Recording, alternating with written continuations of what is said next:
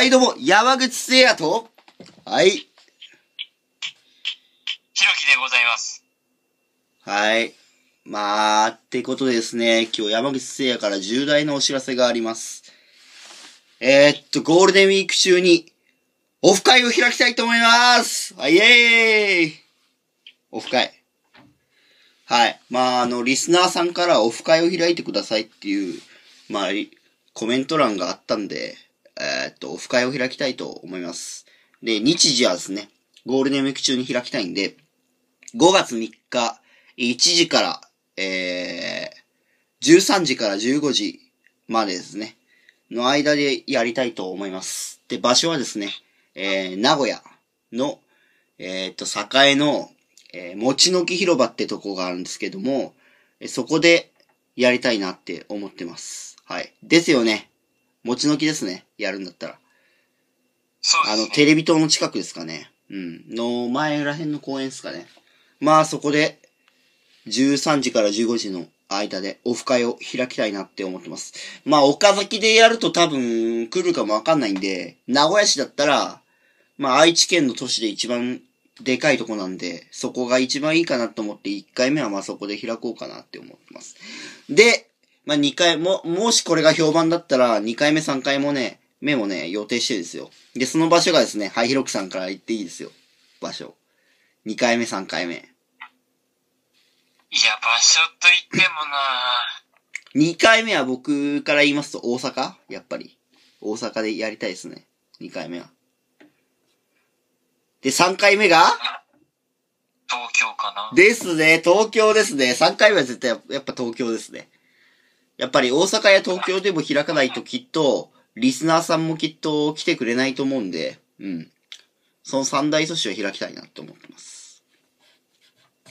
ということですね。一応5月3日を予定してますんで、1時から15時の間、え13時から15時、え餅の木広場、え栄、お名古屋、えぜひ皆さん来てください。はい。一人でも来ないと僕は寂しいのでね、リスナーさんとぜひ触れ合いたいんで、あの、お願いします。まあ、内容としてはね、まあ、握手とか、写真も OK ですし、動画コラボでも OK なんで、ぜひ皆さん来てください。でね、有名な YouTuber の方も来たら一番嬉しいですよね、そのオフ会に。名古屋の来たら。特に、ラファエルさんが来てほしいですね。あとあの人もいますよね、三名物語の、バナナさん、ぜひ来てほしいですね。あと二人は。あとあの女性 YouTuber で言うと、さん。ですね。はい。いやー、来てほしいですね。